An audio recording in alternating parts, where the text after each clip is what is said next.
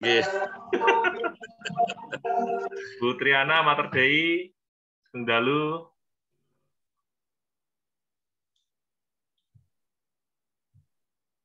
Bu Wiwi Yanu, Rodadi, Ya, selamat malam Pak. selamat malam. Pak Anton Fitra, Katedral, kenapa off-cam?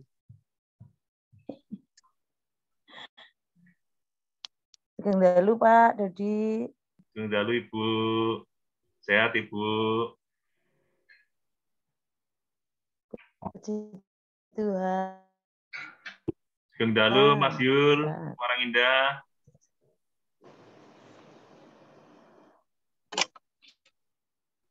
Tinggi Semarang Indah nih. Mas Yul. Memang orangnya tinggi Mas Yul.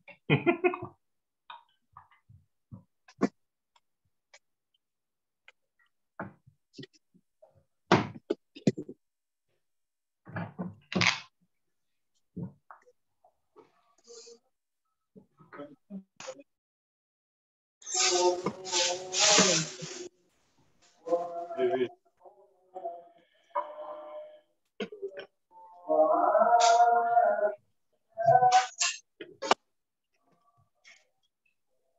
Edi, Ayu, Gerbong. Gerbong ini putih ya? Gereja Bongsari, Pak. Waduh. Mohon maaf, mohon maaf. Dari Bang Sari, Mas Edi, selamat datang. Apa ya gerbong gereja Bang Sari? Mas Tommy, betul tuh, Mot?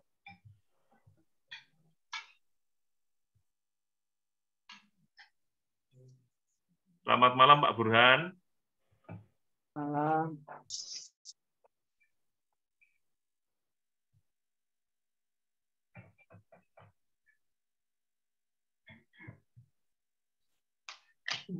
Selamat malam. Eh, baik, Romo, Bruder, Suster, Bapak Ibu semuanya, karena waktu sudah lebih dari enam menit, mari kita siapkan diri kita untuk bisa menerima pemaparan materi dari Bu Lili yang sudah mempersiapkan. Ini eh, kita memasuki sesi keempat. Sesi keempat judulnya tanggung jawab keluarga Katolik. Betul ya Bu Lili? Oke. Eh, betul, Pak Dodi. Ye, untuk mengawali saya mau absen dulu sebentar yang belum saya sapa. Ini masih banyak off cam tapi on semua ya. Ada 55 peserta, biasanya kira-kira seratusan ini. Tapi nggak apa-apa kita mulai dengan perkata-perkata dulu. Ya. Eh, mungkin saya bisa nyuwun tolong Pak Indrajat, Pak Yebi Indrajat dari Paroki Bedono untuk pimpin doa. Atau Ibu. Ini pasangan yang luar biasa. Terima kasih, Pak Ada nyuwun pimpin doa, Nggih, doa pembuka. nggih, nggih Pak Dodi. Indrajat. Nggih. Monggo Bapak. Bapak Ibu, monggo kita sami sebelum acara ini. Dalam nama Bapa dan Putra dan Roh Kudus. Amin. Allah Bapa yang Maha Baik yang kami sapa di dalam Kristus Tuhan.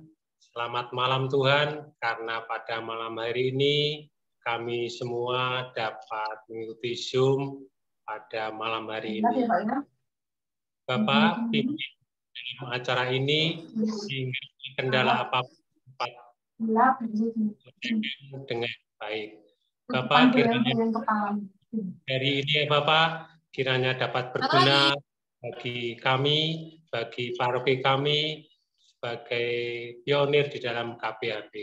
Semua ini kami serahkan di dalam tangan putramu terkasih, Tuhan kami, Yesus Kristus. Kemuliaan kepada Allah Bapa dan Putra dan Roh Kudus, seperti pada permulaan sekarang selalu dan sepanjang segala abad. Amin. Amin. Dalam nama Bapa dan Putra. dalam Bapa dan Putra dan Roh Kudus. Amin. Matur nuwun Pak Indrajat. Iya, Pak Dodi. Dalu, selamat malam semuanya, Romo, Suster, Bruder, Bapak Ibu semuanya, berkah dalam. Mari kita. Dalam awali pertemuan sesi keempat ini dengan memperkenalkan eh, narasumber kita yang akan memberi materi yaitu Bu Teresia Lili. Silakan Bu Lili, panggilannya Bu Lili aja ya, nggak usah Ya, panjang-panjang ya. boleh saja. Ya, silakan. Baik. Terima kasih Pak Dodi. Selamat malam Romo, Suster, Bruder, Bapak Ibu. Selamat malam, Bu Lili. Apa kabar? Baik, luar biasa. Sehat semua. Baik. Eh, malam ini saya diminta oleh Romo Ivan untuk memberikan TOT untuk buku KPHB yang baru, terutama untuk bab 4 tanggung jawab keluarga Katolik. Tadi sudah disinggung oleh Pak Dodi di awal, eh, Bapak Ibu yang kandungan buku sudah mempersiapkan sih, terutama untuk buku dinamikanya, yang warna pink atau warna biru itu. Yang warna pink untuk yang wanita dan warna biru untuk yang pria. Sudah siap ya Bapak Ibu? Baik. Saya akan izin untuk share screen.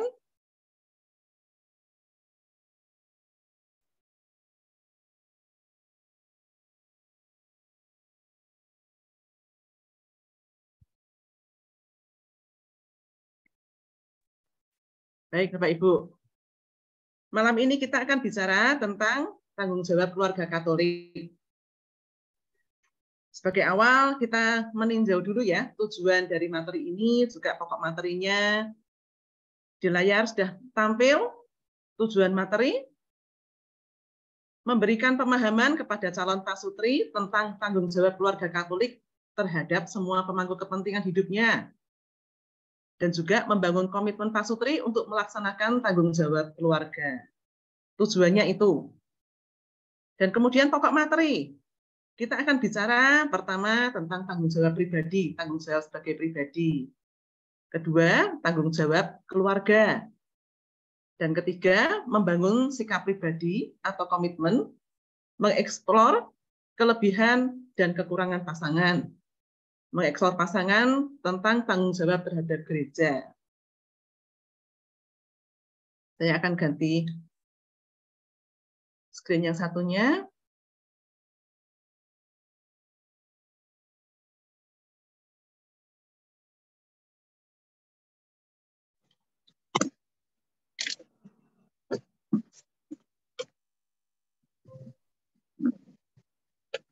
Bab 4 ini tanggung jawab keluarga Katolik bertolak pada uh, Injil Markus bab 10 ayat 7 sampai dengan 8.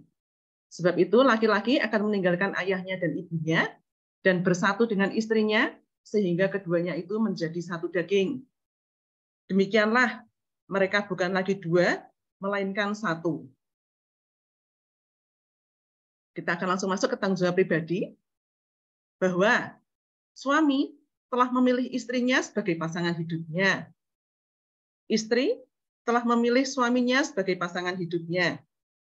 Atas pilihan tersebut memberikan sebuah konsekuensi atau akibat dan tanggung jawab pribadi.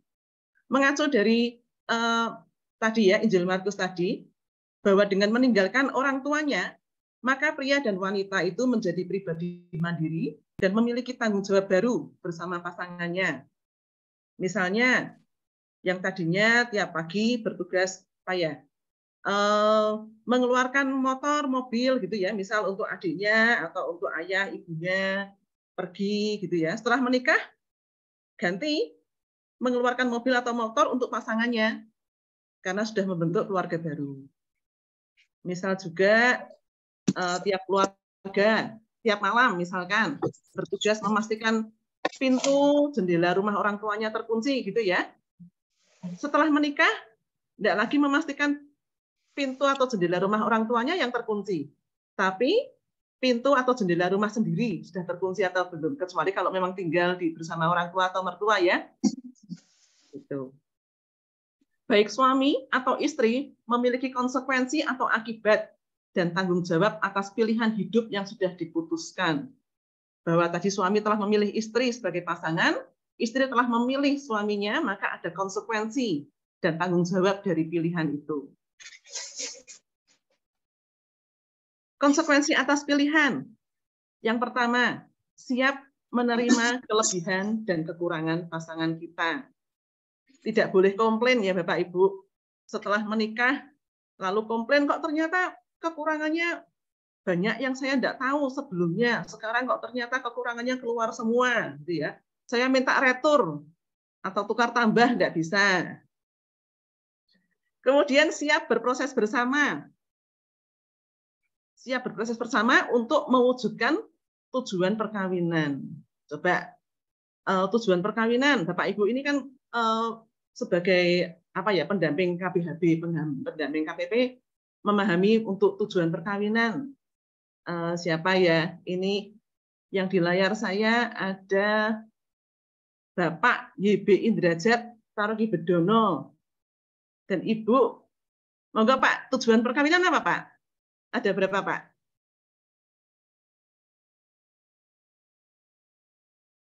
Uh, masih mute Pak.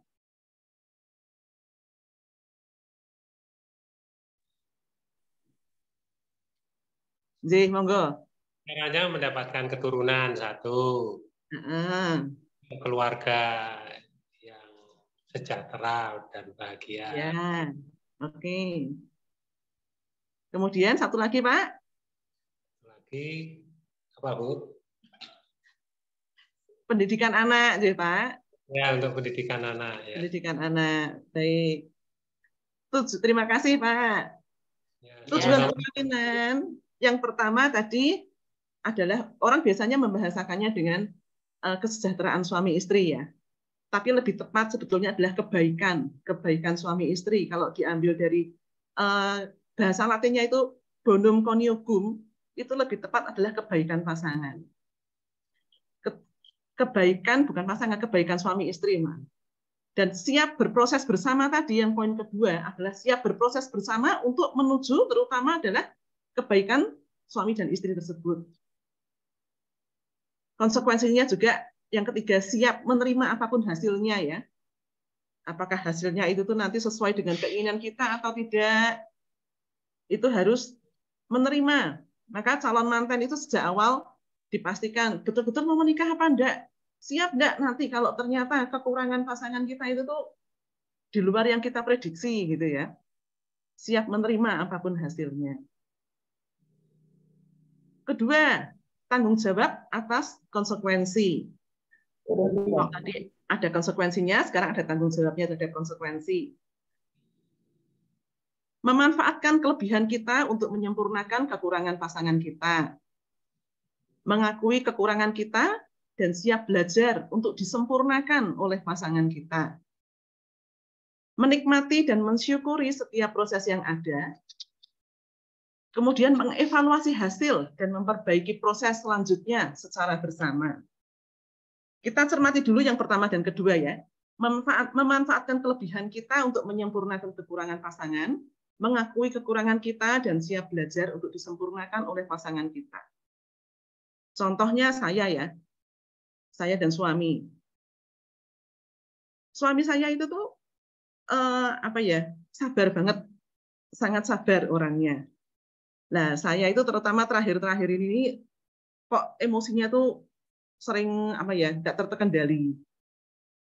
Untung saya itu punya suami yang kemudian tuh sabar, bisa uh, mampu mengontrol emosi saya, tidak tidak nyauti saat saya ngomel-ngomel gitu ya. Dan kemudian juga misalnya lagi soal berdoa. Nah, suami saya itu sejak masa mudanya itu juga pendoa yang tekun, yang taat pagi sore, malam, dia selalu berdoa. Kebalikan dengan saya. Saya itu tuh doa itu kalau ingat dan sering tidak ingat daripada ingatnya gitu ya. Nah, suami saya ini selalu geret gitu ya. Ayo jamnya doa. Nah, terus saya, oh iya jamnya doa diingatkan, kemudian berdoa bersama. Jadi saya dapat suami saya itu menang lotre. Menang lotre dan kemudian banyak kekurangan saya itu yang kemudian digenapi oleh pasangan saya. Dan seharusnya memang seperti itu ya pasangannya. Tuhan mempertemukan kemudian bahwa kelebihan kita itu tuh menyempurnakan kekurangan pasangan dan kita siap belajar disempurnakan oleh pasangan kita. Menikmati dan mensyukuri setiap proses yang ada. Kalau saya tadi menceritakan bahwa uh, saya itu sabar, uh, tidak sabaran dan suami saya itu sabar gitu, ya ada sih satu dua waktu dia juga jadi sama-sama tidak sabar gitu ya, akhirnya bentik.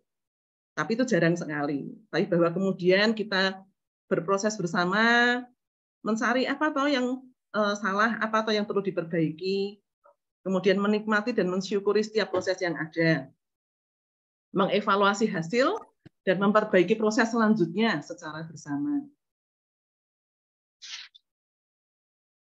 Kemudian, nah, tidak saling menyalahkan, tetapi saling membangun. Sampai di sini Bapak Ibu, kita akan masuk ke dalam sesi untuk membuat mengerjakan pelatihan ya.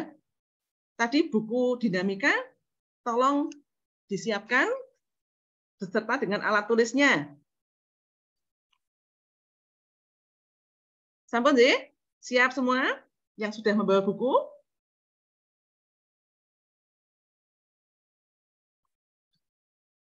Baik.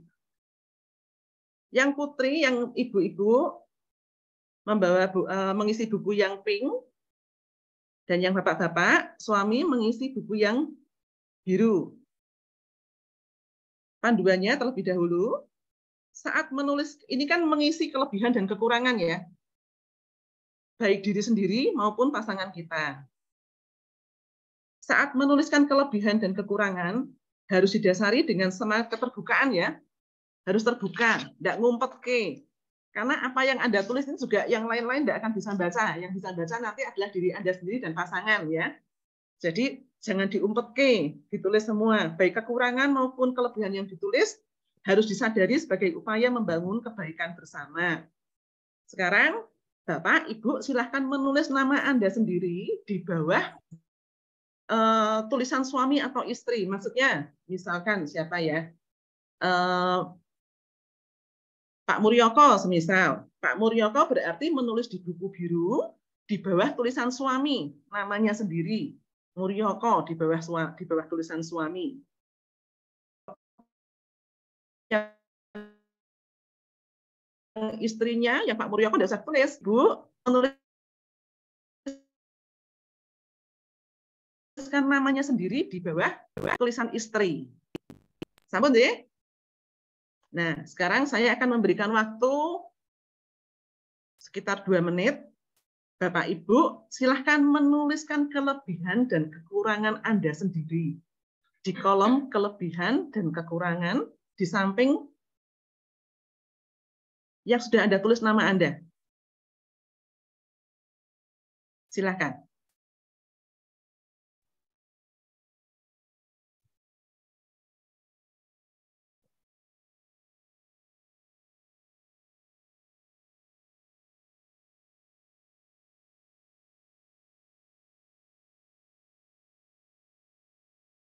Jangan nyontek ya. Masing-masing menulis sendiri. Jangan nyontek pasangannya.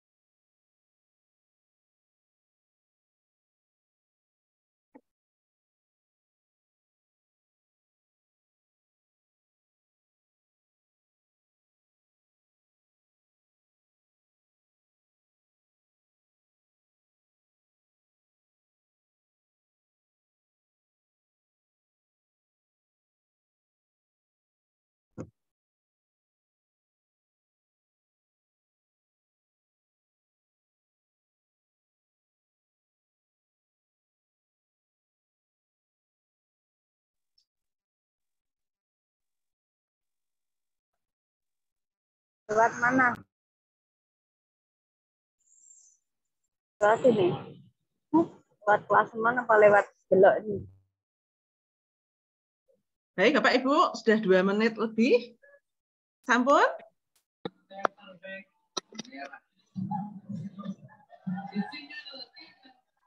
Kurang ya? Dua menit, tiga menit kurang ya? Cukup lah kalau mau Cukup. jujur. Kalau jujur cukup ya, Pak? Baik. Kalau sudah selesai, selanjutnya kit- eh, Bapak Ibu monggo menuliskan kelebihan dan kekurangan pasangan Anda di kolom yang satunya. Kalau suami tadi mengisi dirinya sendiri dan sekarang mengisi di kolom yang istri. Menurut Anda, kelebihan pasangan saya itu apa saja? Kekurangan pasangan saya itu apa saja? Monggo dua menit, silakan.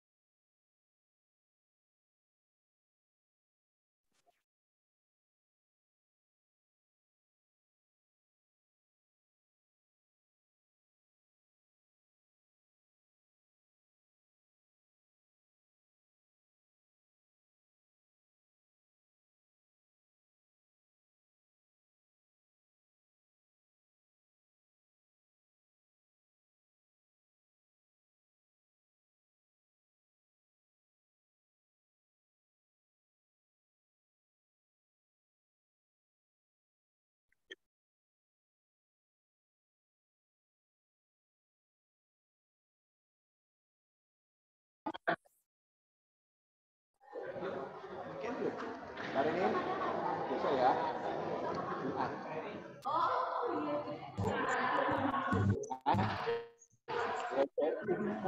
Dokter? Ya? Ya.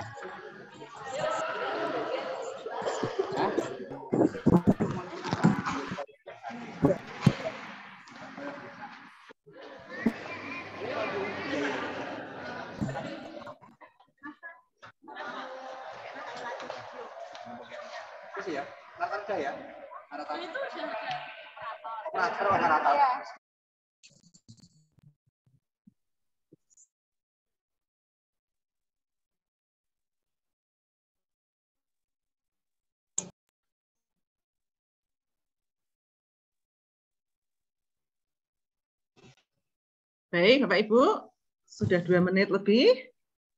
Sudah selesai? Silahkan dikonfirmasikan ke pasangannya. Ditukar, dikonfirmasikan, didiskusikan sebentar. Sebentar saja ya, satu menit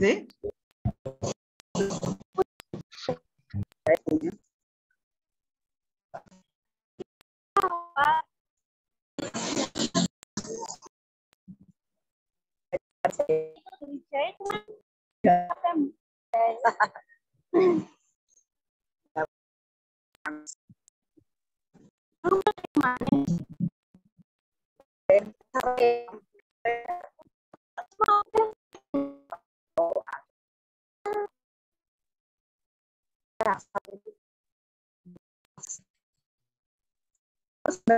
sampai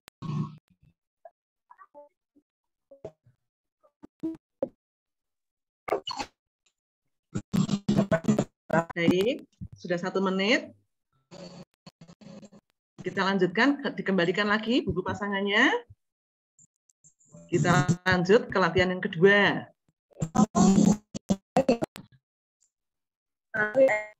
Tadi setelah Anda eh, mengisi, sekarang dihitung. Dibandingkan kelebihan suami, itu lebih besar atau lebih kecil? Kelebihan suami lebih besar atau lebih kecil dari kekurangan? Dengan simbol lebih besar atau simbol lebih kecil? Begitupun kelebihan istri, lebih besar atau lebih kecil? Jadi mengisi hanya satu ya. Yang suami mengisi yang poin dua, kelebihan istri lebih besar atau lebih kecil kekurangan istri. Yang ibu-ibu mengisi hanya poin satu, kelebihan suami itu lebih besar atau lebih kecil daripada kekurangan suami. Ampun, sih.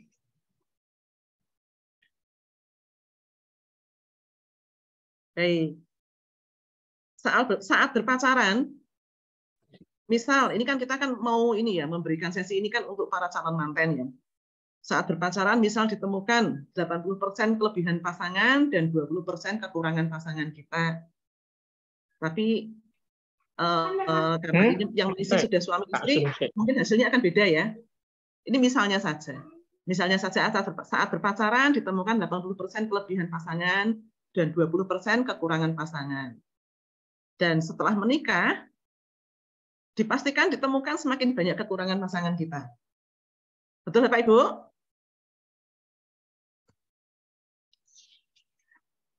Lalu yang latihan ketiga, lanjut ya. Setelah menerima sakramen perkawinan, saya menemukan 80% kekurangan saya pasangan saya dan hanya menemukan 20% kelebihan pasangan saya. Ini juga misalkan loh ya. Maka saya akan 1, 2, 3, 4, 5.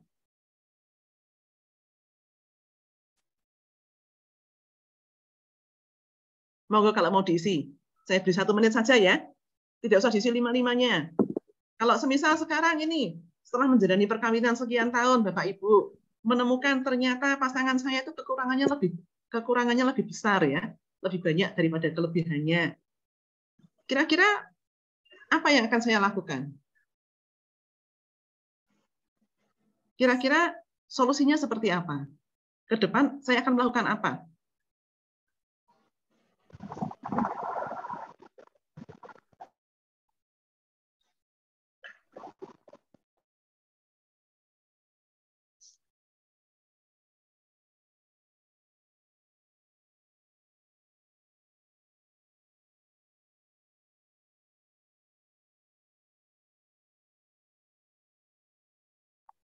Ya, sambung J, nanti dilanjutkan sendiri ya.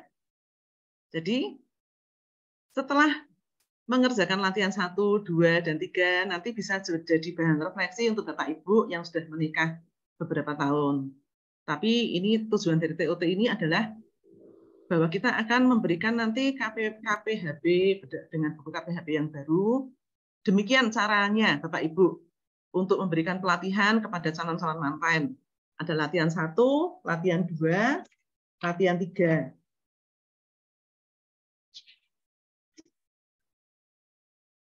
Kita lanjut dengan tanggung jawab keluarga. Tadi kan ngomonginnya tanggung jawab pribadi, sekarang tanggung jawab keluarga. Setelah menjadi pasangan suami istri, tanggung jawab hidup menjadi lebih berat dan kompleks dibandingkan saat masih hidup sendiri. Pak Sutri wajib memahami semua tanggung jawab yang harus diemban bersama. Pak Sutri wajib memiliki komitmen bersama untuk memenuhi semua kewajiban dan tanggung jawab yang ada. Ditekankan pada peserta bahwa komitmen tanggung jawab keluarga harus dimiliki bersama, nih. tidak boleh saling mengandalkan atau jaga. Eh, ah udah ada pasangan saya, saya wes uh, yang ringan-ringan saja, yang abot-abot dan pasangan saya gitu, tidak bisa ya tanggung jawab sebagai keluarga. Apa saja tahu tanggung jawab sebagai keluarga itu?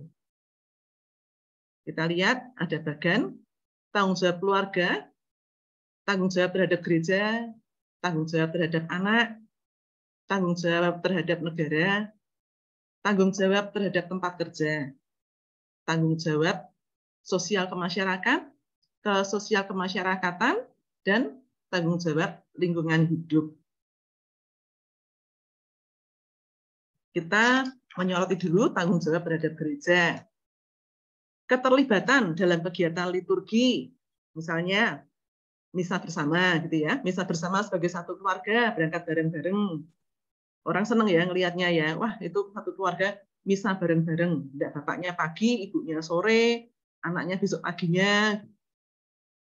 Kemudian keterlibatan dalam kegiatan pewartaan. ikut sarasehan, pendalaman kitab suci, sharing iman, berani untuk bersharing tentang kebaikan Tuhan. Kemudian keterlibatan dalam pelayanan, menjadi pengurus lingkungan, pengurus wilayah, atau juga melayani di paroki. Bisa juga misal kalau pelayanan di kategorial, JFM, ME, KKMK, Choice, banyak ya ladang Tuhan tempat kita bisa melayani. Yang penting terlibat dalam pelayanan. Dan kemudian membangun paguyuban atau persekutuan. Aktif di pertemuan lingkungan, pertemuan pengurus, pertemuan kategorial. Selanjutnya melaksanakan kesaksian hidup di tengah masyarakat. Ya. Menjadi kesaksian hidup itu seperti apa? Menjadi keluarga yang rukun, yang setia, keluarga yang guyup dengan tetangga, rela berbagi, tanggung jawab, berusaha semaksimal mungkin deh Bapak Ibu, walaupun ngelakon itu memang lebih berat ya daripada ngomong ya. Cuman bahwa bisa, kita bisa melaksanakan menjadi kesaksian hidup di tengah masyarakat.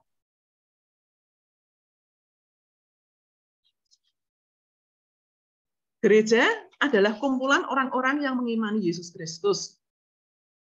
Kita wajib bersyukur atas rahmat pembaptisan yang telah kita terima, sehingga kita menjadi warga gereja. Dan kita harus dalamnya atas rahmat-rahmat Allah yang telah dan akan kita terima. Kita imani bahwa kita telah menerima begitu banyak rahmat dan kita masih akan menerima banyak rahmat dari Allah. Ada tiga kelompok gereja.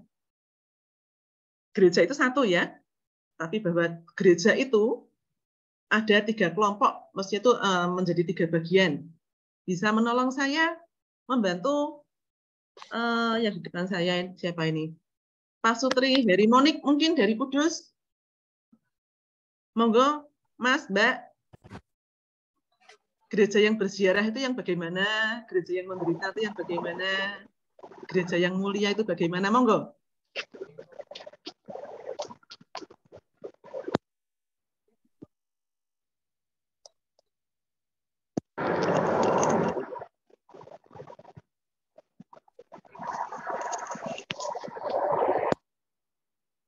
Pak Mas Heri, Mbak Moni. Suaranya nggak masuk ya? Oh, masuk enggak, Bu?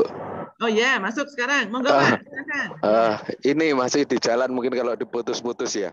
Oh gitu. Nah, monggo sakit uh, Pak. Uh -uh. Ganggu coba ya, Bu ya. Ya. Kalau gereja yang sedang bersiarah kan uh, gereja yang berada dalam kehidupan ini yang bersama dalam perjalanan, bukan gereja yang fix, tapi gereja yang selalu berkembang, mengikuti perkembangan jalan kalau itu, perkembangan zaman kalau menurut saya. Terus hmm. kalau gereja yang sedang menderita, itu bagian dari gereja yang istilahnya eh, sedang mengalami apa ya, sedang mengalami eh, ikut mengalami penderitaan yang ada baik dari penderitaan dalam di dalam kehidupan kita sebagai manusia maupun kehidupan yang di alam. Jadi gereja juga harus terlibat di dalam situ. Terus gereja yang mulia ini yang uh, saya kurang-kurang begitu paham yang ini. Baik. Terima kasih Pak Heri. Baik, Bapak Ibu. Mari kita lebih lanjut lagi. Gereja yang sedang berziarah, umat beriman yang masih ada di dunia ini ya. Kita semua ini yang masih ada di sini, yang masih ada di dunia saat ini, yang masih bisa Zoom saat ini ya, yang masih bisa uh, misa ke gereja, berangkat ke gereja untuk misa, yang masih bisa makan, minum ini, gereja yang sedang berziarah. Kemudian gereja yang menderita itu adalah jiwa-jiwa di api penyucian, sih. Bahwa kalau orang itu e, meninggal, dia mengimani Yesus, mengimani Kristus tetap akan masuk surga. Tapi bahwa kalau dia harus dibersihkan dulu, dia masih berada di api penyucian. Nah, itu adalah gereja yang menderita. Kenapa menderita? Karena dia sudah tidak bisa lagi berdoa untuk dirinya sendiri. Dia sudah tidak bisa lagi untuk uh, mengusahakan agar dia bisa langsung ke surga. Dia membutuhkan doa-doa kita, doa-doa juga para kudus di surga untuk bisa segera terbebas dari api penyucian. Kemudian gereja yang mulia itu adalah jiwa-jiwa yang sudah berada di surga. Santo Santa, Beata, Beato, pun juga mereka yang mungkin tidak dinyatakan sebagai Santa, Santo, Beata, Beato, tetapi sudah berada di surga. Itu mereka gereja yang mulia. Bahwa ketiga kelompok ini, gereja yang sedang berziarah, gereja yang menderita, gereja yang mulia, ini adalah satu kesatuan gereja umat Allah. Ya, jadi baik kita yang masih saat ini masih berada di dunia ini, kita adalah anggota dari gereja. Gereja yang menderita jiwa-jiwa di api penyucian juga adalah anggota dari gereja. Bersama dengan para kudus di surga, itu juga bagian dari gereja, dan kita itu menjadi satu kesatuan. Gereja umat Allah. Selama kita menjadi anggota gereja yang sedang berziarah, kita menerima aneka rahmat sakramen dan sakramen pali sebagai tanda kehadiran Allah dalam setiap jenjang kehidupan kita. Ya, bahwa Allah tidak pernah meninggalkan kita sedetik pun. Bahkan sejak dalam kandungan, ya, Allah itu sudah memberikan berkatnya pada kita.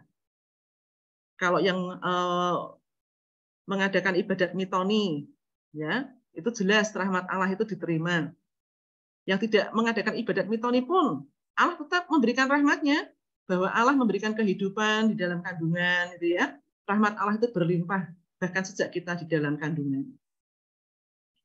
Setelah lahir sebagai bayi menerima sakramen baptis, kemudian anak-anak menerima komuni pertama, menginjak remaja sakramen penguatan, kemudian muda, dewasa sampai dengan lansia, ada tiga pilihan hidup sakramen perkawinan atau memilih sakramen imamat menjadi romo atau hidup religius menjadi suster, bruder. Dan setelah meninggal pun kita masih menerima rahmat di dalam ibadat pemberkatan jenazah. Dan dalam perjalanan hidup ini kita juga menerima rahmat berupa sakramen tobat ya. Apabila kita jatuh dalam dosa, juga sakramen pengurapan orang sakit bila kita dalam kondisi sakit berat. Tadi tanggung jawab terhadap gereja, sekarang tanggung jawab terhadap anak. Tanggung jawab terhadap anak, kita bertanggung jawab terhadap pendidikan iman anak. Mampu kita harus berusaha untuk agar anak kita itu tumbuh dengan mampu menghidupi doa, ekaristi dan sabda, dipastikan menerima sakramen inisiasi. Walaupun untuk mencapai itu juga butuh perjuangan sih. Belum tentu bahwa kalau anak itu tuh kemudian sakramen baptis waktu bayi, kemudian komuni pertama itu masih mudah. Tapi saat anak menginjak remaja dan kemudian sakramen krisma itu saya mengalami sendiri. Anak saya itu tiga laki-laki semua, yang pertama, kedua itu mudah. Tapi anak ketiga saat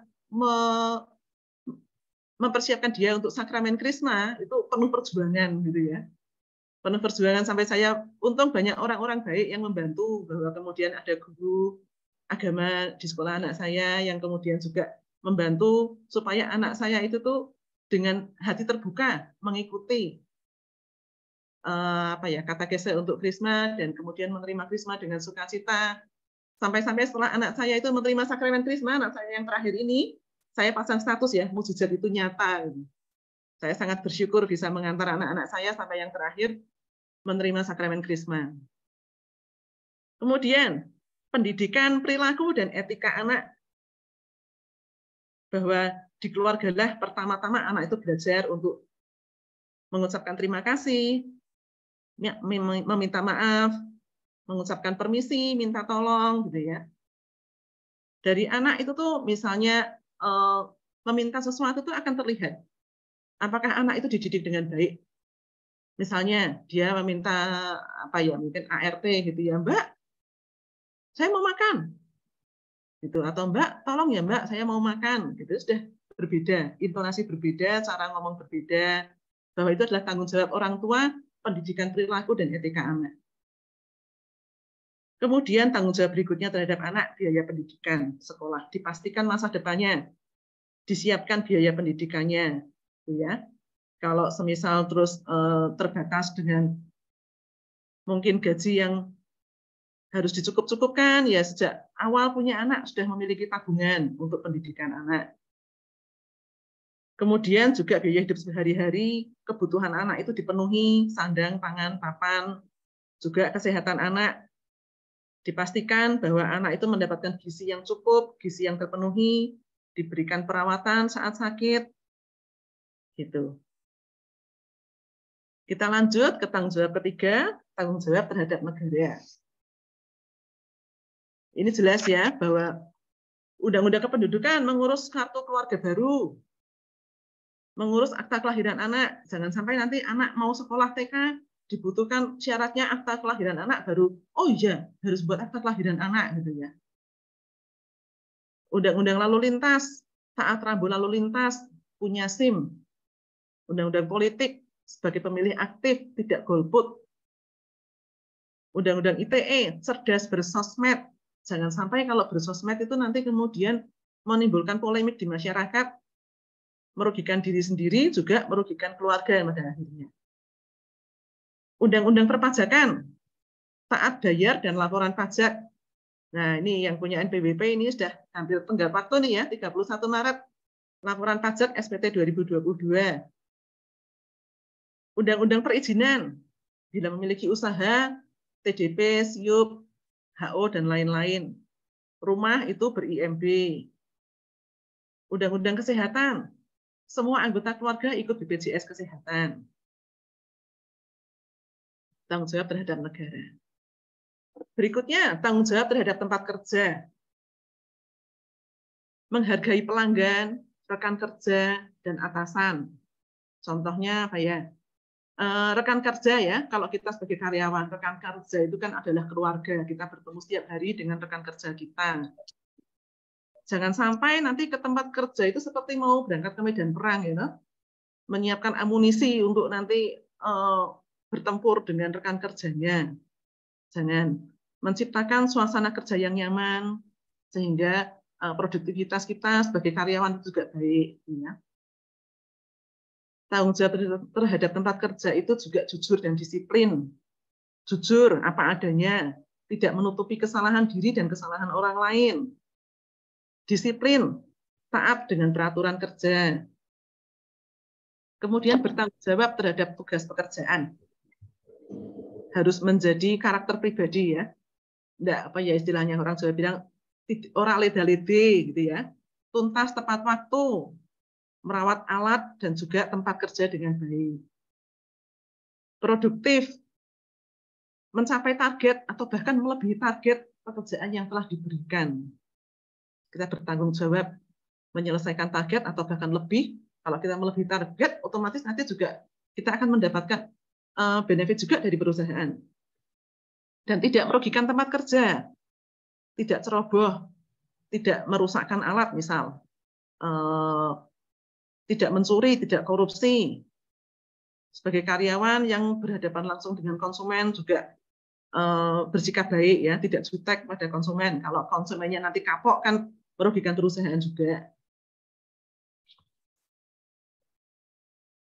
Kemudian yang kelima, tanggung jawab kemasyarakatan, sosial kemasyarakatan. Terlibat aktif dalam kegiatan sosial kemasyarakatan. Pertemuan warga, kerja bakti, di kampung ikut guyup dan rukun dengan tetangga. Ya, serawung dengan tetangga, tidak bikin masalah. Tidak memasang musik keras-keras sampai jam 12 malam misalnya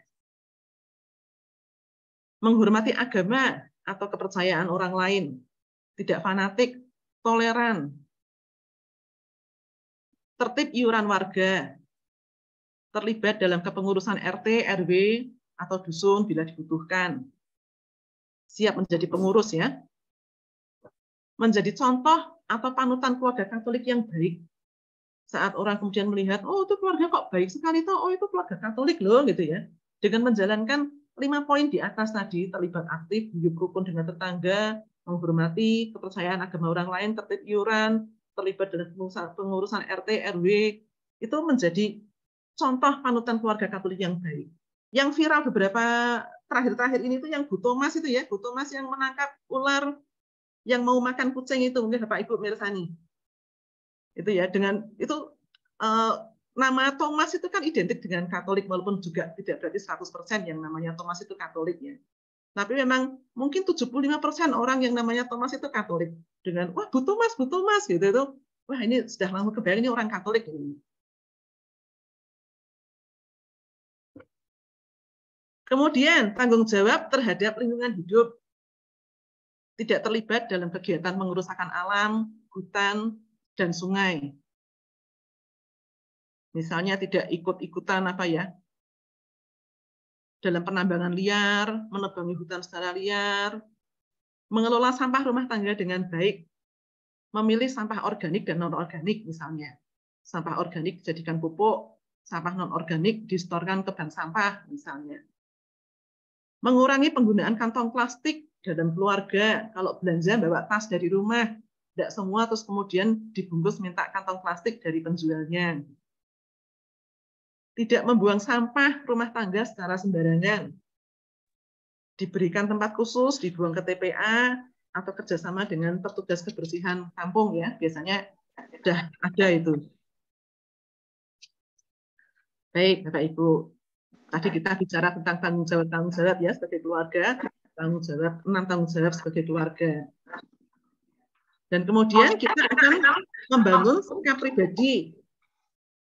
Membangun sikap pribadi itu juga ada di buku dinamika ya Pak Ibu.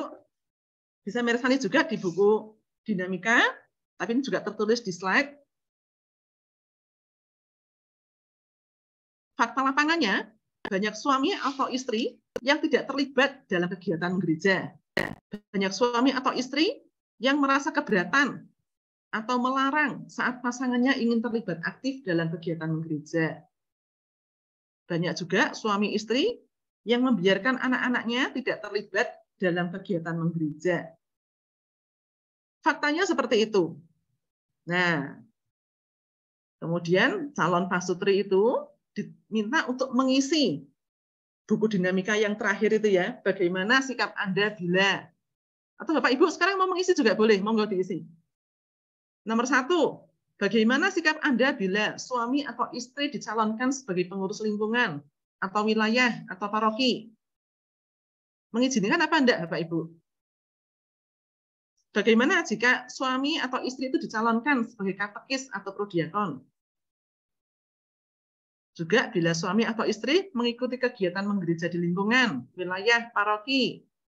Mendukung. Mendukung ya Pak, puji Tuhan.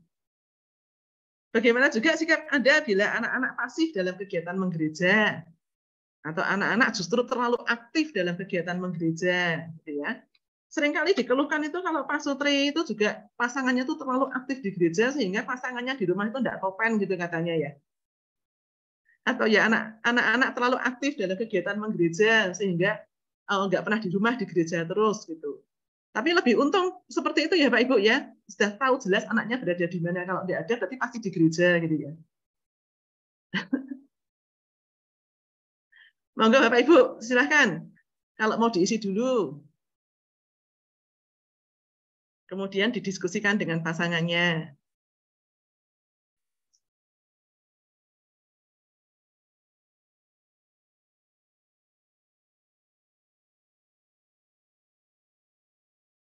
Satu menit ya Bapak Ibu.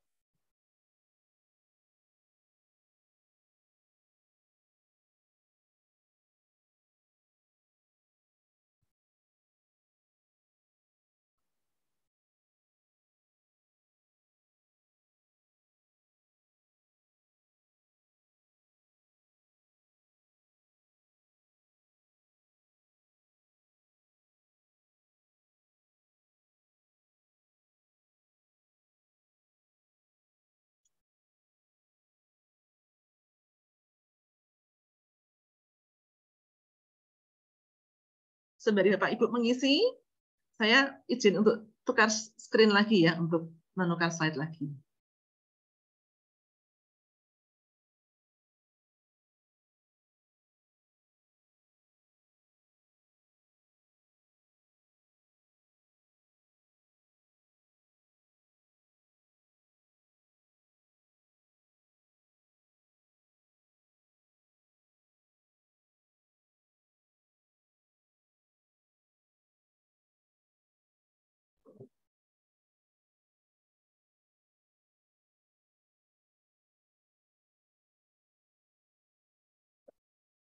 Baik, Bapak Ibu, sampun. Nanti kalau belum selesai bisa dilanjutkan nanti ya Bapak Ibu ya. Sembari nanti bisa didiskusikan pasangannya untuk refleksi setelah menikah sekian tahun. Menjadi bahan diskusi lagi bersama pasangan supaya kehidupan ke depan menjadi lebih baik lagi. Tadi itu saya memberikan contoh untuk memberikan eh, apa ya materi tentang bab 4 ini kepada calon-calon pasutri di KPHB. Seperti saya tadi mencontohkan juga bahwa saya juga menyelipkan sharing-sharing pribadi. Bapak Ibu juga mungkin nanti bisa saat memberikan materi itu juga menyelipkan sharing-sharing pribadi. Atau misalkan juga mau ada pasutri lain yang kemudian diminta untuk men-sharingkan tentang tanggung jawab keluarga ini. Monggo silahkan dinamikanya seperti apa. Tapi eh, harus waspada dengan waktu ya, karena buku KPHB yang baru ini sangat padat dan kemudian kalau nanti sharing itu tuh terlalu banyak, terlalu beradah, waktunya tidak cukup. Begitu. Baik, tadi yang saya share eh, PPT yang sudah saya tutup tadi itu adalah PPT yang akan diberikan saat Bapak Ibu memberikan KPHB di paroki masing-masing. Ini kemudian saya akan memberikan intisari dari bab 4 keluarga Katolik ini. Tapi bahwa eh, materi ini tidak diberikan saat memberikan KPHB hanya untuk belajar saja Bapak Ibu. Keluarga Katolik tadi mengacu pada uh, Injil Markus tadi bahwa laki-laki akan meninggalkan ayah dan ibunya, juga wanita ya, Eh, wanita juga meninggalkan ayah dan ibunya bersatu dengan pasangannya sehingga keduanya itu menjadi satu daging. Bukan lagi dua tetapi satu. Ada tanggung jawab pribadi dan kemudian tanggung jawab keluarga. Tanggung jawab pribadi bahwa setelah menikah itu tanggung jawab sebagai pribadi akan berbeda. Sebelum menikah terhadap keluarga asal dan setelah menikah tanggung jawab pribadi terhadap pasangannya, terhadap anak-anaknya nanti. Juga tanggung jawab sebagai keluarga, membangun sikap pribadi atau komitmen. Sebagai tanggung jawab pribadi, bahwa Anda setelah mem, apa ya, memilih, memutuskan bahwa orang ini menjadi pasangan saya, maka ada konsekuensi atau akibat dari keputusan Anda itu. Juga nanti akan ada tanggung jawab sebagai pribadi Istri telah memilih suami, suami telah memilih istri. Konsekuensinya adalah siap menerima kelebihan dan kekurangan pasangan, siap berproses, siap menerima hasilnya. Kemudian, tanggung jawab pribadi saling menyempurnakan. Ya, kelebihan dan kekurangan itu suami dan istri saling menyempurnakan menikmati dan mensyukuri setiap proses yang ada, menerima dan mengevaluasi hasil, memperbaiki proses selanjutnya.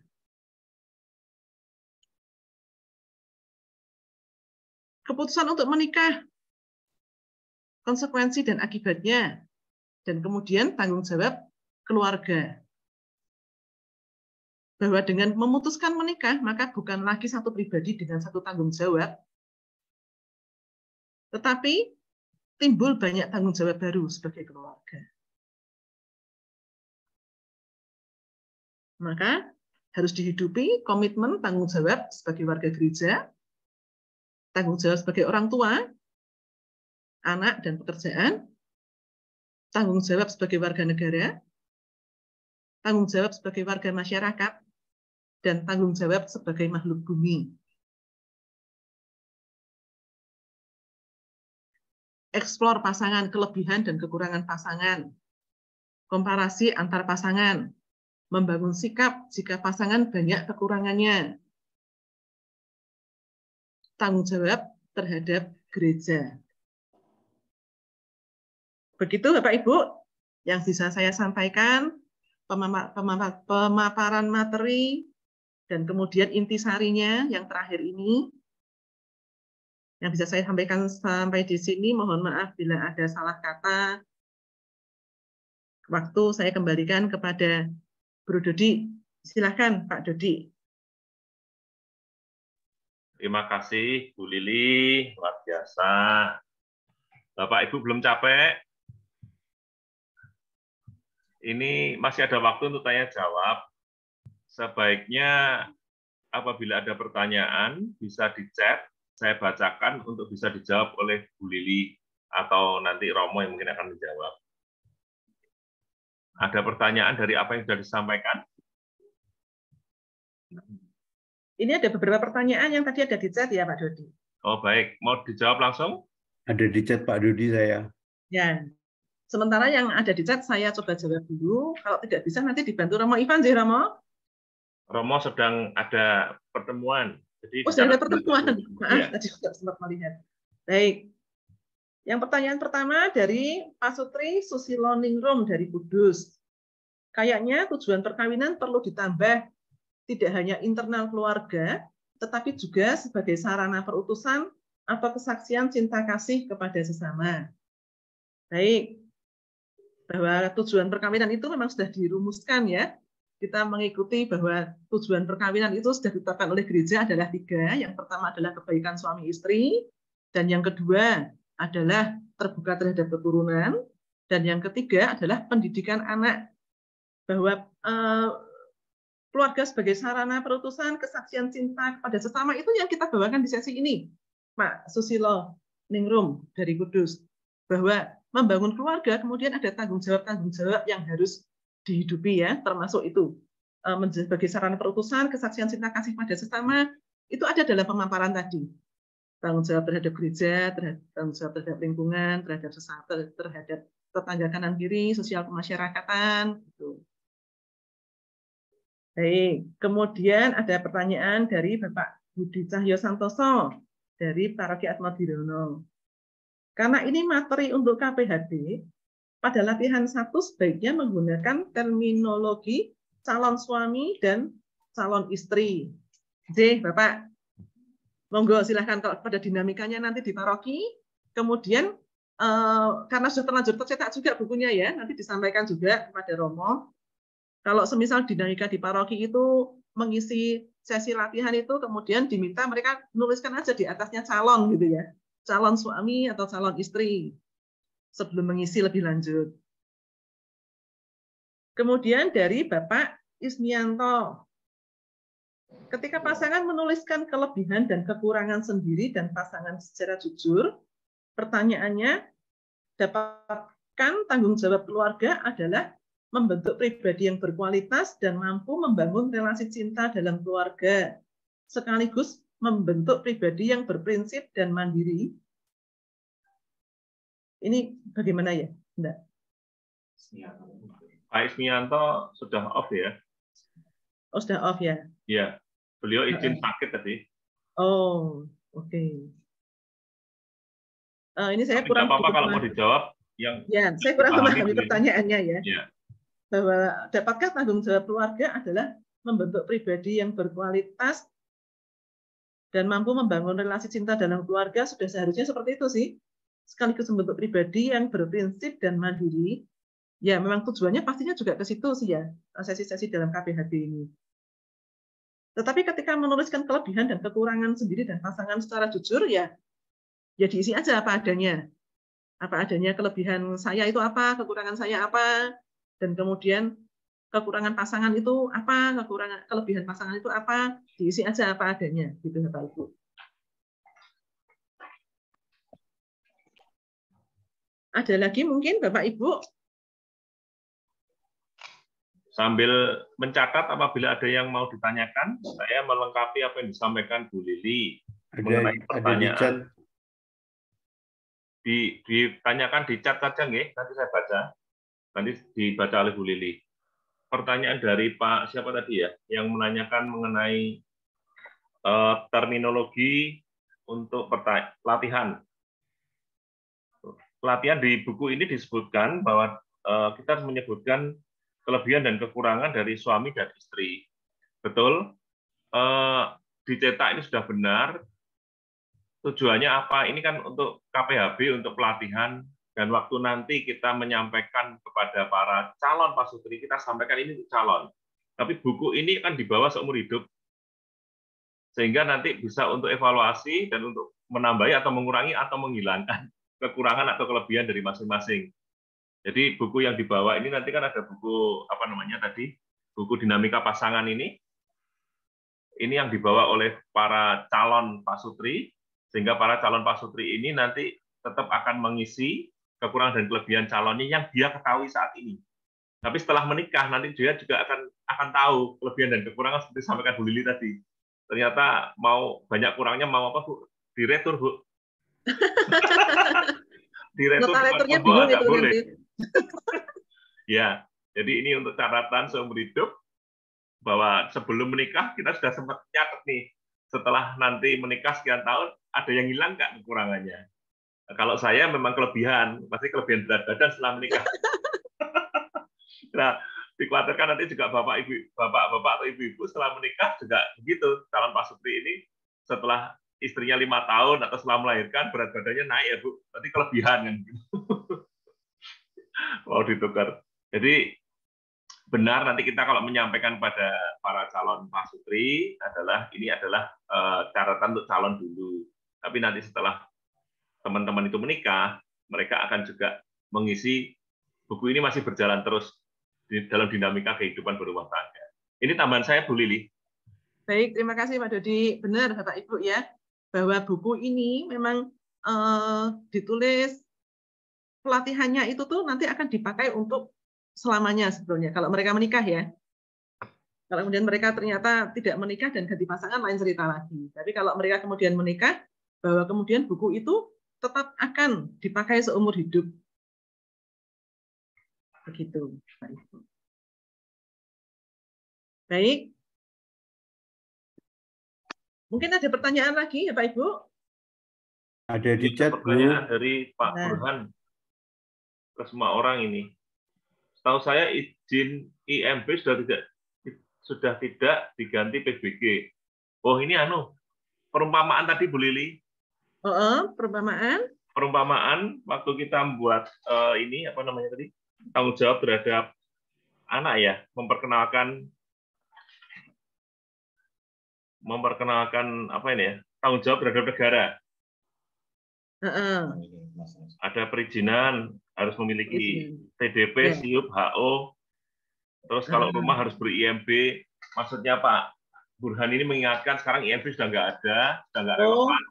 Mungkin bisa relevan, ya. PBG. Baik, terima Ya, kasih. jadi mungkin Ah. ini karena buku dibuat masih pakai IMB mungkin Pak. Nah, sekarang, Ya, itu sebagai contoh sekarang aja. sudah zamannya PBG. Terima kasih masukannya Pak Burhan. Terima kasih masukannya, Pak Burhan. Saya tapi nggak tahu ini hanya untuk Semarang aja atau untuk seluruh Indonesia PBG ini ya Pak? Nasional tuh tahun 2020 udah undang-undang. Oh, Cipta 2020. Kerja. 2020. Undang-undang Cipta Kerja. Di situ Oke. Baik, terima kasih Untuk masukan kita semua Ibu Lili ya, kita sampaikan pada penulis eh, Romo yang bertanggung jawab di buku ini bahwa IMB sudah ganti PBG. Ada lagi Pak perundangan yang diganti Pak? Hmm, nggak tahu saya, saya tahu ingat itu saja. Oh, habis ngurus PBG Pak? anu Pak Bu pasangan Bu Puji kan. Eh, Pak Burhan itu aktivisnya Semarang Indah, Pak Dodi. Iya Oh. Pak Beni, terima kasih. Saya, saya pikir Pak Burhan habis bangun rumah atau bagaimana sehingga tidak Oh. apa, tidak tahu tidak pakai IMB tapi pakai PBG. Iya. Pak Burhan bagian eh, tim pembangunan juga di Santo Mikael, khususnya mengenai kelistrikan Oh iya, dan multimedia ya. iya Pak Pak Beni terima kasih informasinya. Kami kemarin ketemu di ini. Di Oh ya betul, ya, Ya. beliau dengan istri, Dengan istri, mengikuti ya. Betul. Ya, terima kasih masukannya Pak. Budan. Pak Beni terima kasih. Ya. Ada pertanyaan yang mungkin belum sempat dicatat Ya. atau mau ada- langsung pada Bu Lili? Ada lagi di chat Pak Dodi. Ya, silakan Bu. Seandainya sesi ini digabung dari Bapak Agustinus Indria. Seandainya sesi ini digabung dengan bab lain, cocoknya dengan bab berapa? Tidak dianjurkan untuk menggabungkan Pak, sesi, Pak, Bapak Ibu. Jadi setiap sesi itu tetap harus diberikan dan kemudian memberikannya juga sebaiknya berurutan. Dari sesi satu, sesi dua, sesi tiga, jangan melompat. Misalnya sesi satu, lalu langsung ke sesi delapan, baru kembali ke sesi dua. Karena alurnya itu sudah dibuat sedemikian rupa sehingga itu mengalir sesi satu berlanjut ke sesi dua, sesi tiga, dan tidak di- dianjurkan untuk menggabungkan. Begitu Bapak Ibu. Makanya ini memang materi KPHB di buku yang baru ini sangat padat. Kita harus memanage waktu dengan baik. Sharing-sharing, saya, saya eh, ingatkan sekali lagi bahwa kalau ada pasutri lain yang terlibat dalam sharing sebagai sharer, itu tolong batas waktunya dibatasi dengan sungguh-sungguh. Atau bisa juga semisal pemateri mau memberikan sharing sendiri pengalaman hidupnya sehari-hari juga bisa. Singkat tapi jelas mengenai begitu. Itu lalu ada lagi Mungkin nanti diingatkan ya Bu Lili bahwa materi ini dijalankan, dilaksanakan eh, minimal tiga hari ya Bu. Tiga, betul ya? Oh ya, kalau boleh minimal dua, ya. minimal tiga hari, ya jangan dipersingkat karena kalau dua hari kemarin waktu kami eh, mendapatkan pelatihan juga untuk memberikan pelatihan ini juga diingatkan oleh Romo bahwa Romo sendiri waktu itu sudah sempat mencoba memberikan selama dua hari dan itu tidak efektif. Ya. Tidak efektif karena terlalu berhimpit-himpitan bahkan tiga hari itu pun juga sebetulnya bowoken juga sebetulnya gitu ya. Cuman minimal lah tiga hari. Bawa itu apa ya Bu? Bisa dijelaskan Bu? Bowoken ini apa ya Pak ya? Ngono kuwi. Jadi sangat padat sekali. Akan lebih nyaman mungkin kalau dibuat selama dua minggu ya. Tapi memang menjadi kesulitan karena calon pasutri itu kan waktunya juga terbatas begitu. Iya. Tapi kalau eh, selama tiga hari Jumat, Sabtu, Minggu sih masih memungkinkan. Begitu Bapak Ibu. Oh, berarti tiga hari Pak Kali. Kenapa Pak? Untuk Yang terakhir.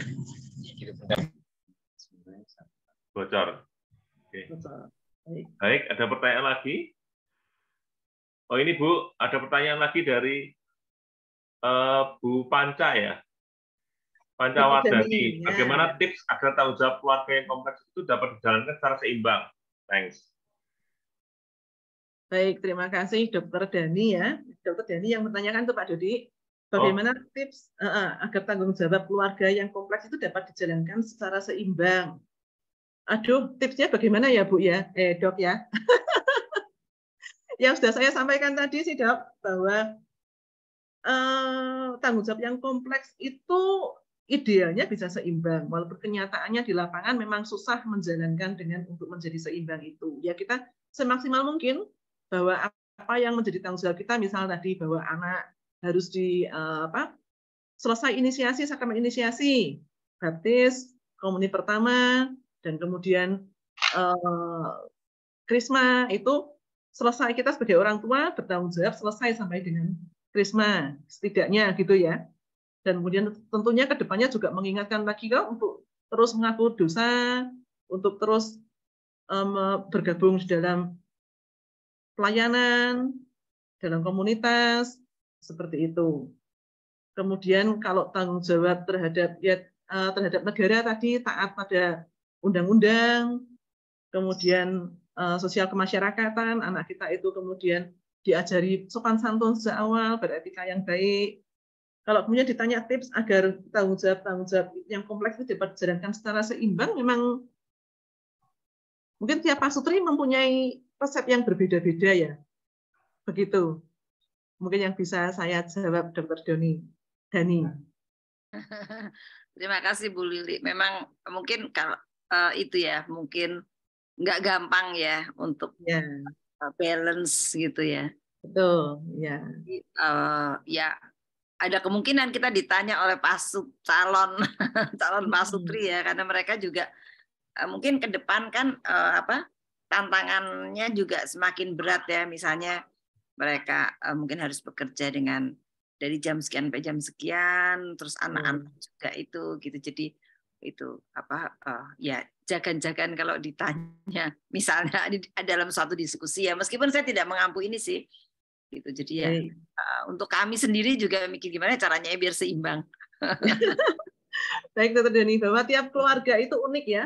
Memang yeah. tiap keluarga itu unik uh, uh, dengan uh, apa ya kelebihan dan kekurangan masing-masing kemudian juga situasi kondisi masing-masing bahwa kemudian resepnya yang pas itu apa ya memang kembali ke keluarga masing-masing ya Bu jadi tetap Eh, kita memberikan materi ini bahwa kemudian kalau ditanya tips untuk bisa menyeimbangkan ya dikembalikan saja ke masing-masing kebutuhan masing-masing. Demikian, dokter. Ya, matur nuwun, Bu Terima kasih. Terima kasih, Bu, Bu Dokter. Mohon maaf ya, Bu. Salam kenal. Salam kenal, Bro Dodi. Sudah Mohon sering maaf. Saya paneng baca di di apa di di chat. Saya nggak mersani kalau Ibu buka kamera. Terima kasih. Ada Baik. pertanyaan lagi Bu Lili? Ya, ini dari Pak Burhan. Wah, ini pertanyaan berat ini. Tadi disebutkan kalau Santo Santa ada di surga. Setahu saya yang ada di surga sekarang, Bapak, Yesus, satu orang yang disalib di sebelah Yesus, dan Bunda Maria. Apakah saya keliru atau bagaimana penjelasannya? Waduh, ini ada Romo enggak nih? Saya ditolong ini. Minta tolong. Baik, saya berusaha menjawab yang saya tahu, deh, Pak. Elia belum dihitung loh, Elia. Nabi Kenapa? Elia. Nabi Elia Elia. belum dihitung. Langsung diangkat ke surga malah itu ya, Pak. Nah, iya. Baik, mohon maaf kalau ada saya ada salah ya. Tapi setahu saya bahwa kemudian tadi gereja itu adalah satu gereja yang satu kudus, katolik dan apostolik. Bahwa kemudian gereja itu adalah satu kesatuan dari tiga kelompok tadi. Bahwa kita yang masih berziarah di dunia, jiwa-jiwa yang masih menderita. Kenapa menderita? Karena mereka itu sudah pasti ke surga, itu sudah pasti. Jiwa-jiwa di api penyucian itu tidak mungkin nanti kesasar ke neraka itu tidak. Pasti dia ke surga. Masalahnya adalah kapan mereka dibebaskan dari api penyucian. Dan itu sangat menderita karena mereka sangat merindukan untuk bersatu dengan Tuhan.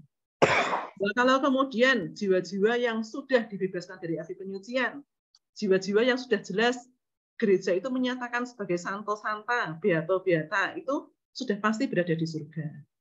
Begitu, Bapak yang bisa saya jawab. Mungkin kalau ada Romo atau suster, bruder yang mengkoreksi jawaban saya, monggo silahkan. Begitu. Kalau enggak nanti dicatat toh, kita tanya Romo, nanti jawabannya nanti di grup. Gitu ya Pak Bran? Ya, Pak. Ya, kalau saya sih setuju dengan Bu Lili, tapi saya juga khawatir kalau saya salah.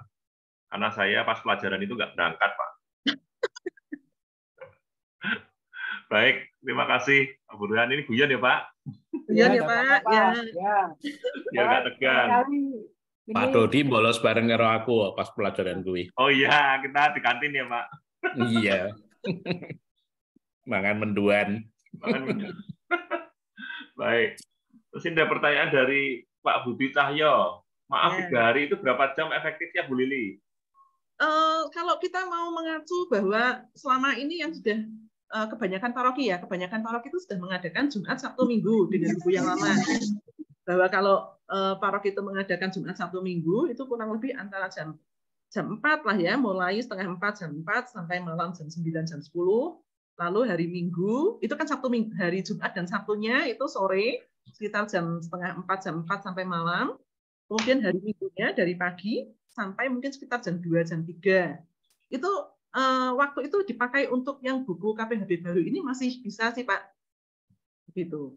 Walaupun juga yang tadi saya bilang sebetulnya idealnya eh, ditambah lagi. Tapi kalau terpaksa pun harus tiga hari mengikuti pola yang lama itu masih masih bisa.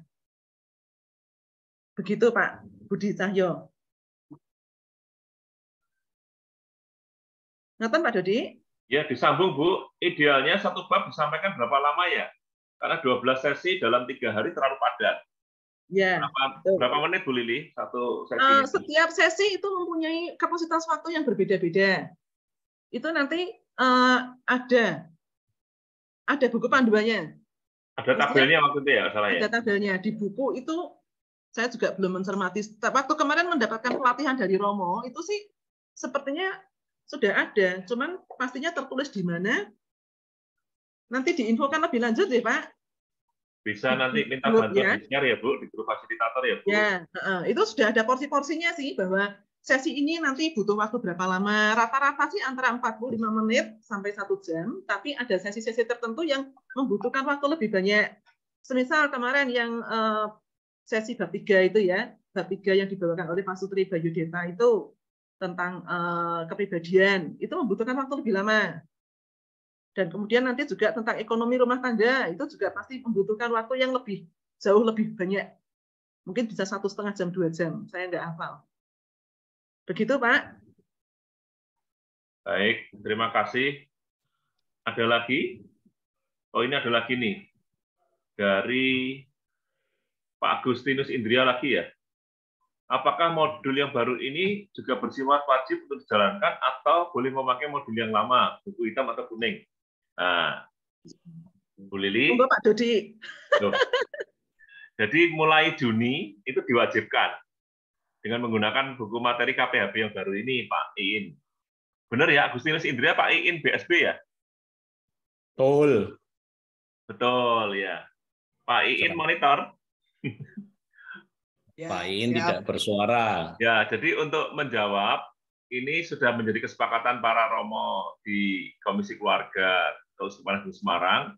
Mulai Juni wajib untuk KPHB itu atau KPP yang diganti nama dengan KPHB menggunakan buku ini. Makanya kita kejar tayang Mei harus selesai. Begitu. Jadi mulai mulai Juni nggak boleh dipakai ya Pak? Uh, mungkin saya bisa jawab sedikit ya Pak.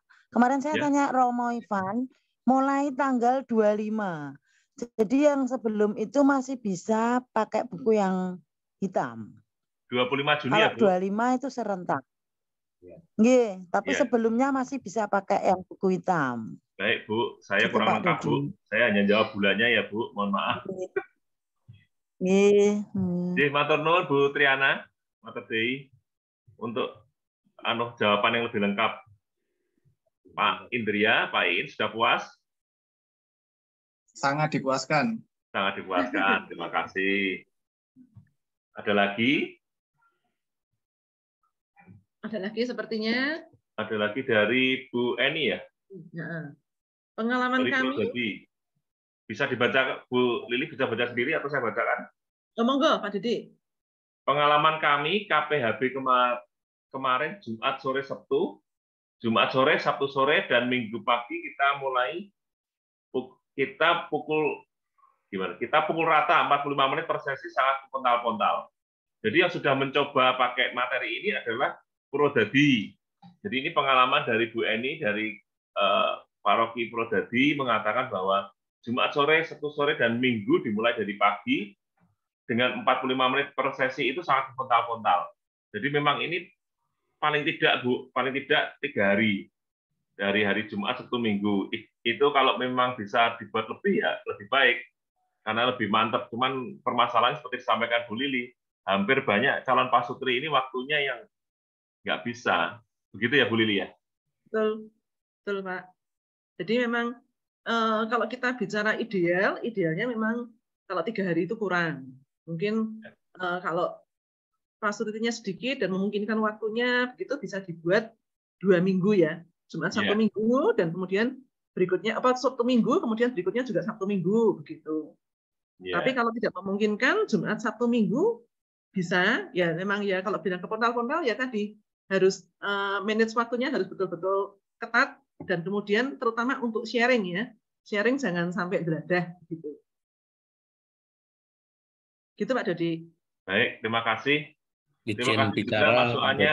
Bu Eni dari Prodadi. Pak izin Beni, bicara. ada yang mau sampaikan?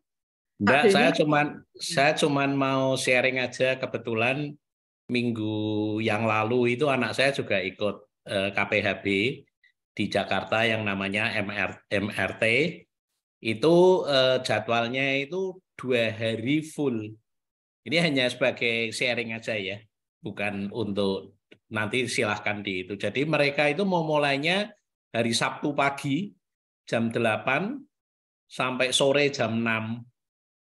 Terus minggunya jam 8 sampai sekitar siang itu jam berapa ya? Sekitar jam 4-an mungkin, jam 3, jam 4.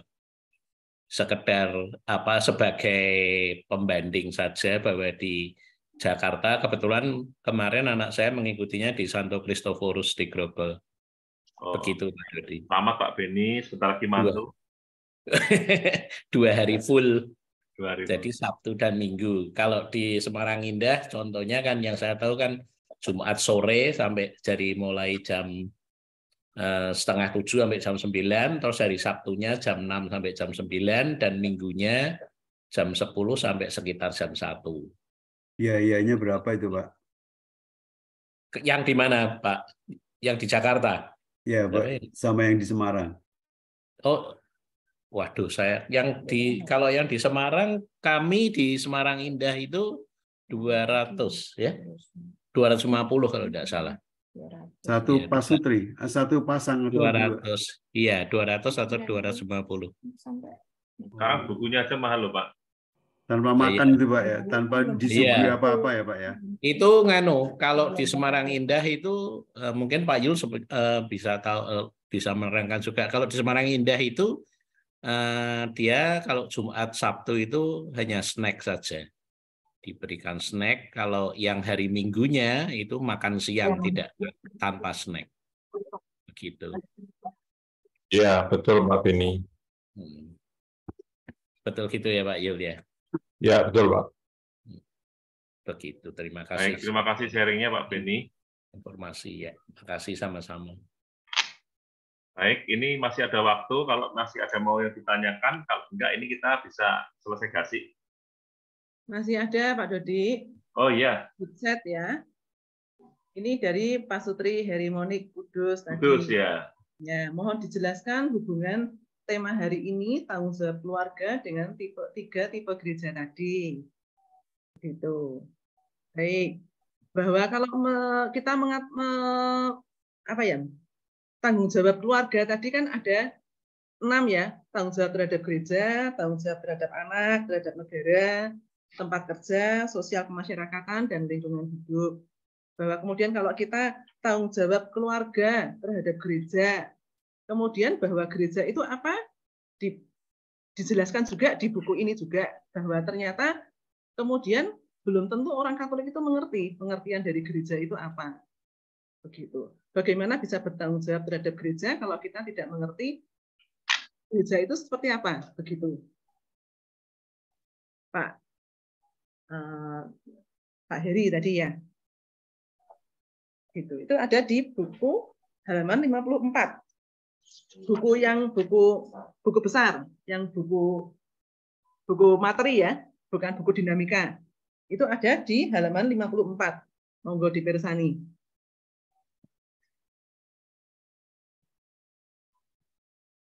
Gitu Pak Dodi. Pak Ya. Heri, apakah sudah cukup menjawab? Oke, ya, ya Bu. Coba nanti saya baca lagi karena Mas eh, Masih sangat jalan ya. korelatifnya masih masih gelambiar gitu loh. Ya, Tanggung baik jawab Pak. Ya. berat gitu, agak dalam kalau ditanyain seperti itu agak dalam jawabnya lumayan berat itu. Jadi Pak, nanti bisa dibaca lagi Pak. Pastinya kalau nanti memberikan sesi di paroki kan kita belajar ju- juga duduk lagi ya Pak ya. Ya. Ya. Dan pertanyaan-pertanyaan ini mungkin bisa dicatat, Pak. Nanti mungkin bisa ditanyakan pada Romo, Romo terdekat tentang kebenarannya seperti apa, seperti tadi yang disampaikan oleh Pak Burhan, ditanyakan tadi, yang ada hubungannya dengan pertanyaan ini ya Bu Lili tadi ya. Ya. Sebelum kita memberi materi, nanti kita tanyakan dulu. Jagani kalau ada pertanyaan-pertanyaan lagi. Gitu. Gitu Pak Juradi. Baik, ada lagi? Dari Ini di Toningsih, Pak Sutri Pak di Toningsih ya. Ada pertanyaan. Zaman sekarang sering kita temukan pasutri yang tidak bersama karena pekerjaan. Bagaimana sebaiknya pembagian tanggung jawab suami atau istri yang berjauhan secara fisik dalam kehidupan rumah tangga? Baik, bahwa pernikahan Katolik itu tidak dianjurkan untuk LDR. Tapi memang bahwa kemudian praktek di lapangan tidak bisa ideal, tetap harus LDR karena tanggung jawab tugas, misalnya tentara gitu ya, tentara harus bekerjanya jauh uh, tempat tugasnya seperti itu.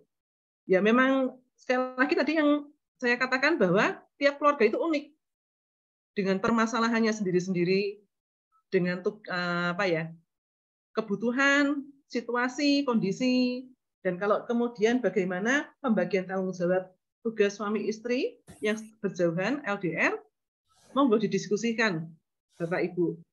Jadi bahwa kemudian uh, tanggung jawab tanggung jawab tadi yang uh, disebutkan tadi terhadap gereja, terhadap negara itu juga terhadap sosial kemasyarakatan itu bisa terpenuhi semua walaupun mungkin dengan cara yang berbeda dengan pasutri lain yang tidak LDR. Gitu. Kemudian yang kedua, mohon ditambahkan pada bagian tiga membangun sikap pribadi untuk poin dua. F. Bagaimana sikap Anda bila suami atau istri dipilih terlibat dalam kegiatan sosial kemasyarakatan seperti pengurus LKMD, pengurus remaja, LSM di komunitas seperti komunitas petani, komunitas usaha, sebagai kader kesehatan, dan lain-lain. G. Bagaimana sikap Anda bila suami atau istri dipilih terlibat dalam kegiatan politik sebagai pengurus partai, anggota Bawaslu, anggota KPU. Baik, Bapak Ibu, terima kasih sarannya nanti disampaikan ke Romonje.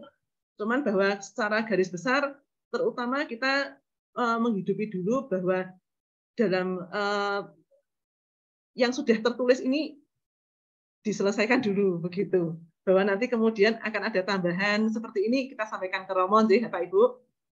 Terima kasih masukannya. Begitu Pak Dodi. Baik, Bu Lili. Terima kasih. Saya lagi nyari ini loh, apa namanya, schedule, contoh schedule. Contoh schedule untuk tiga hari itu loh, Bu. Waktu oh. kita mendapatkan pelatihan itu, dicoba di Kedu dua hari oleh Romo Kedu, tidak memungkinkan ya, betul ya? Betul. Terus kemudian dibuat schedule untuk hari pertama itu satu, dua, tiga, empat. Empat sesi ya, Bu? Empat sesi. Hari pertama empat sesi. Tapi Mulai kalau, dari gimana, Bu? Maaf, maaf Pak Dodi, saya uh, putus dulu. Uh, tadi yang menanggapi Pak Beni kan tadi ya, yang tentang MRT ya di Jakarta ya. ya. MRT Jakarta. Ya, betul bahwa kalau MRT itu MRT itu ada beberapa paroki yang saya tahu memang uh, mengadakan KPHB, istilah mereka MRT itu Sabtu dan Minggu tapi full pagi sampai sore. Jadi yeah. mungkin jam 8 pagi sampai mungkin jam 5 sore, jam 6 sore atau mungkin bahkan sampai malam. Jam 6. Sampai malam sampai malam, Pak. Jam 6. Jam 6 oh, sore. Jam 6, jam 6 sore. Kalau seperti ya. itu mungkin bisa. Cuman masalahnya itu di Jakarta. Kalau di kita di di kepikiran Semarang apakah memungkinkan seperti itu? Gitu. Karena Sabtu masih banyak yang kerja ya. Kalau di Jakarta itu mungkin Sabtu praktis libur. Praktis libur, lima hari kerja. Kalau di Semarang sepertinya masih masih hari Sabtu itu masuk setengah hari ya. Tapi kalau misal ada paroki yang memungkinkan untuk Sabtu dan Minggu pagi sampai sore, sebetulnya bisa juga sih. Begitu. Kalau yang kemarin dicontohkan Romo Eko, ya Pak Judi, itu ya. dua hari itu sepertinya yang saya nangkap juga bukan full dari pagi sih pak. Kalau hanya empat sesi kan tidak mungkin dari pagi. Ya. Anu full kok kemarin dari pagi sampai sore kan? Pagi sampai sore? Ya akhirnya mereka tidak dong karena sudah lelah begitu. Ya ya memang risikonya nah, efektif ya. Tidak efektif. Begitu bapak ibu masih ada lagi? Ada masukan dari Romo Ivan ini. dari keuskupan memang menawarkan alternatif jadwal, yaitu tiga hari tadi, tetapi semuanya prinsipnya itu jadwal KPHB bisa diatur sebagaimana situasi paroki masing-masing, bahkan bisa diperlama durasi KPHB-nya, tidak hanya sekedar weekend. Jadi tiga hari itu eh, minimal, bisa diperpanjang, monggo terserah dari eh, Paroki masing-masing. bersangkutan.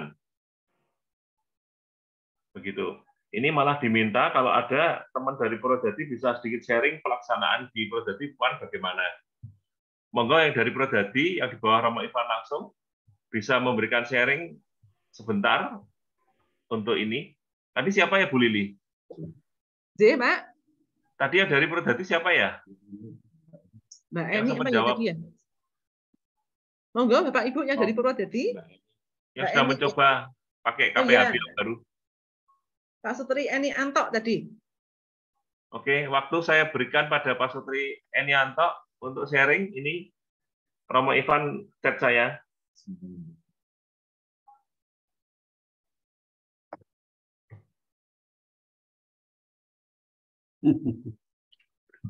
Nggak ada ya? Ya udah nggak apa-apa. Masih ada tapi ketutup. Oke, baik, nggak apa-apa. Jadi kalau nggak ada, tadi ini hanya yang sudah sudah menjalankan menjalankan KPHB materi yang baru ini itu Prodadi. Jadi bagaimana kalau ada yang bisa sharing, tapi kalau nggak nggak apa-apa karena memang semua diserahkan kembali pada paroki masing-masing dengan eh, Selamat siang, Pak. Eh, selamat siang. Selamat malam. oh, selamat siang. Purwodadi nih. Selamat malam Ibu. Em, ini dari Purwodadi. Tadi untuk sharing pelaksanaan KPHB, nggih. Iya betul. Eh, dari Purwodadi kemarin itu mencoba kita kan tiga hari, tiga hari itu eh, Jumat empat sesi, Sabtu empat sesi, eh, Minggu empat sesi. Itu per sesi kita coba eh, 45 menit. Terus di sela sesi kita tetap ada waktu eh, ice breaking dan macam-macam karena kita tetap menjagani molor karena saat dari latihan pun kita butuh apa 45 menit itu kita juga tadi ke pontal-pontal itu terus dalam pelaksanaan itu itu ternyata juga dari eh, 12 sesi itu kita 45 menit juga ke pontal-pontal. Jadi evaluasi kemarin dari peserta itu banyaknya juga di waktu. Gitu. Iya. Mungkin itu. Ya, terima kasih. Terima Bu- kasih. nggih. Bu Sintang nggih. Mas. Kira-kira demikian Bapak Ibu semua. Terus ini pertanyaan lagi satu dari Pak Yulianto Semarang Indah ya. Apakah dalam menerapkan modul baru modul baru KPHB urutan materi harus sesuai? Sudah disampaikan Bu Lili tadi ya Bu. Monggo dijelaskan sekali lagi Bu. Baik, Bapak Ibu, eh, sekali lagi bahwa buku KPHB yang baru ini sebaiknya materi tetap dijalankan sesuai dengan urutan. Jadi sesi 1, sesi 2, sesi 3, seterusnya tidak terlompat-lompat. Dan kemudian kalau tadi kembali ke pertanyaan tadi Pak siapa tadi bahwa boleh digabung enggak, sebaiknya juga tidak digabung. Sebaiknya tetap tiap sesi diberikan berurutan.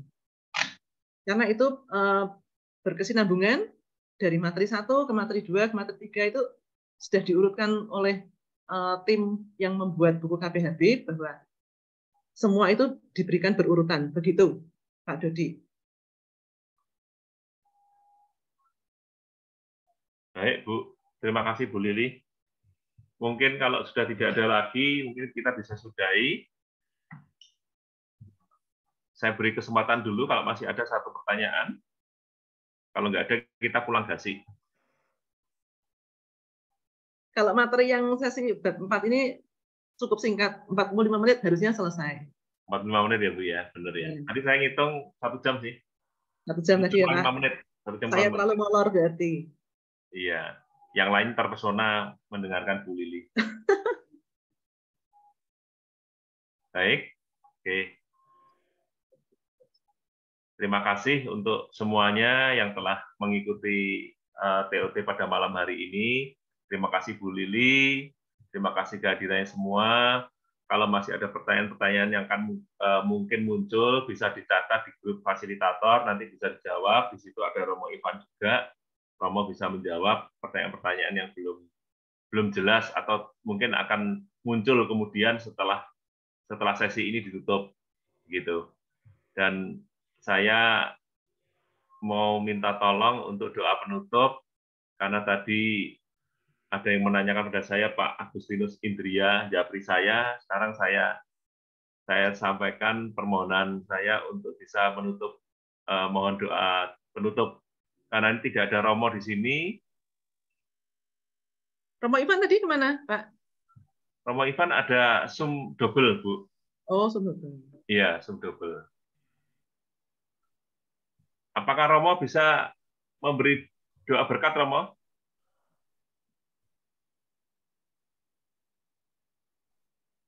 Belum respon. Baik. Oke. Setelah kita tutup dengan doa, kita nanti jangan pergi dulu, jangan live dulu, kita foto bersama. Nanti Pak Albert akan memandu foto. Ye. Bapak Ibu, terima kasih. Mari kita tutup kegiatan malam hari ini dengan doa dipimpin oleh Pak Iin dari BSB. Monggo Pak Iin. Baik. Uh, mari kita tutup dengan doa. Bapak Ibu, mari kita siapkan hati kita dalam nama Bapa dan Putra dan Roh Kudus. Amin. Allah yang Maha Pengasih, kami bersyukur malam hari ini kami boleh mendapatkan pencerahan di mana bagaimana kami bisa membawakan bab mengenai tanggung jawab keluarga Katolik. Bimbing setiap kami Bapak agar yang boleh melakukan yang terbaik untuk para calon pasutri dan kami juga mohon berkat terutama yang membawakan sesi hari ini Bu Lili biarlah Roh Kudus dan karya Tuhan selalu bekerja di dalam kehidupan Bu Lili dalam pekerjaan dan pelayanannya. Terima kasih Bapak, sertai kami selalu, hingga kami belum memberikan pelayanan ini dengan dengan cara yang terbaik karena Engkau yang menyempurnakan kami. Amin. Kemuliaan kepada Bapa dan Putra dan Roh Kudus, seperti pada permulaan sekarang selalu dan sepanjang segala. Amin. Bapa dan Putra dan Roh Kudus. Terima kasih. Terima kasih Pak In, Bu Lili, terima kasih, terima kasih banyak, Bapak Ibu semua, terima kasih banyak mohon jangan live dulu. Uh, untuk Bapak Ibu bisa buka open cam sebentar untuk difoto oleh Pak Abed. Pak Abed bisa aba-aba Pak. Siap. Ini ada empat halam, empat layar, empat layar. Senyumnya dulu yang tercantik dan Semua senyum ya Pak, karena belum tahu nanti dapatnya di mana ya Pak. Iya, pokoknya senyum terus sampai saya bilang selesai. Jadi satu jam lagi gitu. Senyum terus ya. Halaman pertama. Sebentar. Oke. Halaman kedua. Tetap senyum.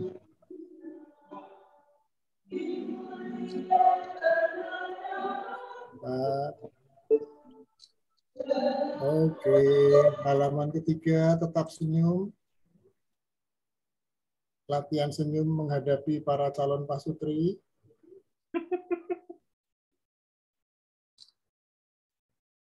Halaman ketiga banyak yang masih close. Halaman terakhir.